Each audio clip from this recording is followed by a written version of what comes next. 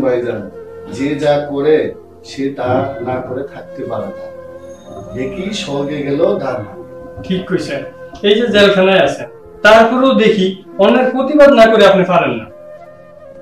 কি করব বল? অন্যায় দেখলে সহ্য করতে পারি না। মামা মামা দারুণ খবর আছে। কি দারুণ খবর? এক অবসরপ্রাপ্ত সেনা কর্মকর্তাকে ওসি নির্দেশে গুলি করে মারা হয়েছে। সে ওসি এখন আমাদের কারাগারে। এখানে কি ট্রান্সফার হয়ে আসছে? না মামা আসামি হিসাবে। ভাইজান একবারে আমিও আমি খুব মজা হ্যাঁ ভাইজান এই শালা রসি থাকাকালীন অনেক অন্যায় অত্যাচার করছে। ভাইজান শালায় অনেক মানুষের বিনা অপরাধে টাকার বিনিময়ে বড় ফেয়ারে মেরে ফেলাইছে খুব খারাপ লোক মামা খুব খারাপ লোক। ঠিক আছে তাইলে আমাদের ছেলে দেওয়ার ব্যবস্থা কর। বড় স্যারকে বলে ব্যবস্থা করছি ঠিক আছে। শালারে সামনাসামনি দেখার আমার খুব ইচ্ছা ছিল। আজ আমার সেই স্বপ্নটা পূরণ হলো। ভাইজান হালা খুব হারামি। বাংলাদেশের অর্ধেক মাদক হেতার আতর দিয়ে শালা ছিল একজন রক্ষক নামের ভক্ষক? ভাইজান হাতে সাধারণ মানুষের ক্রস ফায়ারে ভয় দেখিয়ে আর মাদক ব্যবসা করি কোটি কোটি টাকা কামাইছে। তাহলে তো দেখা যায় সে অনেক বড় পাপি। হ্যাঁ ভাইজান হালার ফলা অনেক বড় পাপ ঠিক আছে যেহেতু পাপি তাহলে জেলখানায় ওর কিছু পাপের ইয়ে করতে হইব। কতটা বুঝছস? হ্যাঁ ভাইজান তাইলে অন্তরে খুব শান্তি পাম। ঠিক আছে আগে আসতে দে।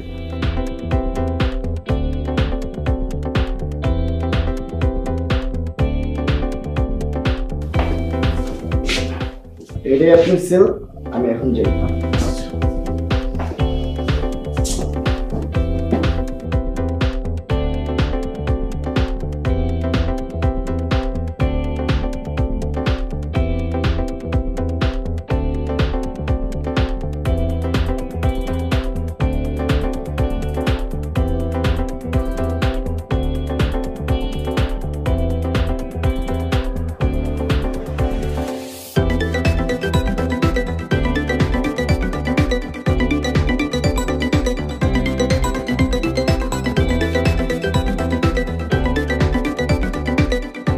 কি রে তোরা তুই চুপচাপ বই রইছ আমি আমার প্রতি সম্মান করলি না।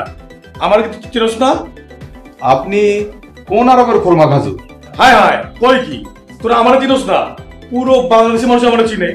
ও তোর চিনবি কেমনে? তোরা তো কয় দি? ভাইজান হালা তো দিয়ে আঙ্গুর উপরে শোয়া হইতেছে তাই তো দেখতেছি। তা কথাটা আপনি ঠিকই কইছেন। যারা জেলে থাক তারা দিন দিন আর খবর রাখব কীভাবে? তো আমনে আমনের পরিচয়টা একটু দিয়া ফেলান আপনি কোন ক্ষেতের মূলা? মূলা? মূলা কিসের রে?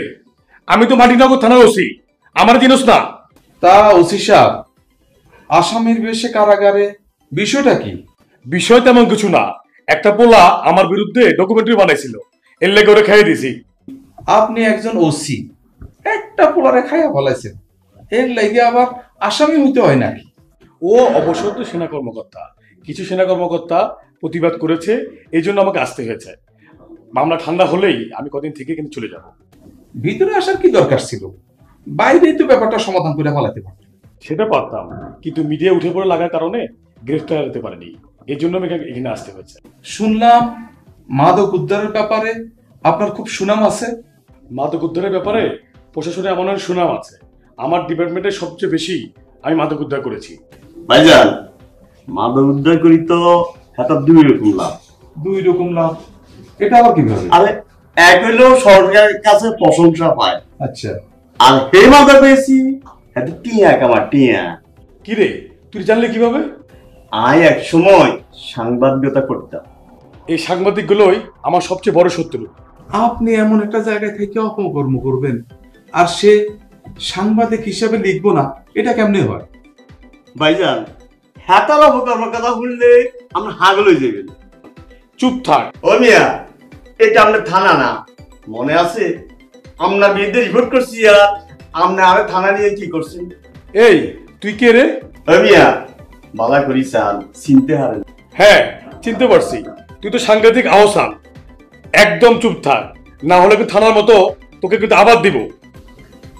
কি করি? খানা মতো দেওয়া লাইনে তো এই আনছি। তুই কি বললি তোকে আমি ক্রস ফায়ার দিব মামা আগের দিন বুঝলে যান আমরা ওসি না আমরা আঙ্গের মতো আসান খারাপ তোর আমি খাইছি কি করলি কি করলি? তোকে আমরা খাইছি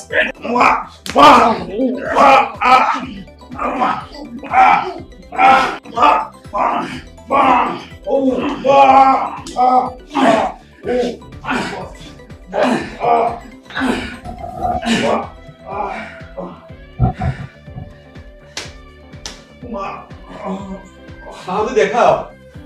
এটা এটা তোমার থানা না। এটা হলো জেলখানা। এটা জায়গা, বুঝতে পারছ? তোর সব কাহিনী যাই নেই সেলে আনছি। তোর সব হিসাব কিতাব নেওয়ার কোন পাউলি দেখাবি, তোর হাত দুইটা ভাঙ্গিয়া পায়ে লাগাই দেবো। আবার পা দুইটা ভাঙ্গিয়া হাতে লাগাই দেবো। বুঝতে পারছস? যা যা বলি ঠিক ঠিক উত্তর দিবি। আওসান তোর উপর একটা প্রতিবেদন তৈরি করছে। এর যদি একটা মিথ্যা বলস তাহলে তোকে ভাই ওই যেভাবে থানা নিয়ে মানুষের শুরু করতো আমরা ঠিক সেভাবে শুরু করছি। ওই থানা নিয়ে কীভাবে শুরু করতে? আর ওই মানুষের প্রথমে আচ্ছা একদম দিত এরপরে জিজ্ঞাসাবাদ করতো। তাহলে তো ঠিক করছি। অনকি আর একটা দিতে হইব নাকি? ভাই ফিটানের আগে মুখে একটা কাপড় ঢুকিয়ে যাতে আওয়াজ না হয়। তাহলে এক কাম কর কাপড় লো। মুখের মধ্যে কাপড় না না না কাপড় টাপড় কিছু লাগবে না। আপনারা যা বলবেন আপনারা বলেন আমি সেটা উত্তর দিচ্ছি। ঠিক ঠিক উত্তর দিবে। তাহলে আর মুখে কাপড় ঢুকানোর দরকার ওকে জিজ্ঞাসাবাদ শুরু করি। তাহলে ভাই সংগ্রহ জিজ্ঞাসা কর ঠিক আছে বল। এ পর্যন্ত তুই কয়টা ক্রস ফায়ার দিছস? আমি এ পর্যন্ত একশোর উপরে পুরস্কার করেছি। এই জন্য গভর্নমেন্ট আমাকে পুরস্কার দিয়েছে। অপরাধীদের ক্রস ফায়ার দিয়েছিস আমি সে কথা বলছি না। বিনা অপরাধে কয়জনকে ক্রস ফায়ার দিয়েছিস আর ভয় দেখিয়ে কয়জন থেকে টাকা নিয়েছিস? বল ক্রস ফায়ার ভয় দেখিয়ে কয়জনের কাছ থেকে টাকা নিয়েছিস? না এই ধরনের কোনো কাজ আমি করিনি। ভাই আমার মিথ্যা কথা বলছি। আমার কাছে সব প্রমাণ আছে। কিরে মিথ্যে কথা বলছিস কেন? কিরে বল বল। পাঁচ সাতজন ভাই মিথ্যা কথা বলছি। পঞ্চাশ জনের উপরে ক্রস ফেয়ার দিছে। ওই ক্রস ফেয়ার ভয় দেখি পাঁচ কোটি টাকার মালিক দিছে কিরে ব্যাপারটা সত্য? হ্যাঁ সত্য। ভাই হ্যাতার কারণে মাদকে মাদকে দেশটা ভরে গেছে। ওই মাদকে ব্যবসা করি পাঁচশো কোটি টাকার মালিক দিছে কিরে ব্যাপারটা সত্য? হ্যাঁ সত্য। তুই তুই পুলিশ নামে কলঙ্ক। যে মানুষটা পুলিশের কাছে যায় তার নিরাপত্তার জন্য। তার জানমালের হেফাজতের জন্য। আর তুই মানুষকে ক্রস ফায়ার দিয়ে ক্রস ফায়ারের ভয় দেখিয়ে টাকা নিস। তুই তুই পুলিশ নামের কলঙ্ক। যে পরিবারের একটা ছেলে মাদক আসক্ত সেই পরিবার ধ্বংস হয়ে যায়। মাননীয় প্রধানমন্ত্রী জননেত্রী শেখ হাসিনা মাদকের বিরুদ্ধে জিরো টলারেন্স ঘোষণা করেছে। অথচ অথচ তুই পুলিশের লোক হয়ে সেই মাদকের ব্যবসা করিস। শস্যের মধ্যে যদি ভূত থাকে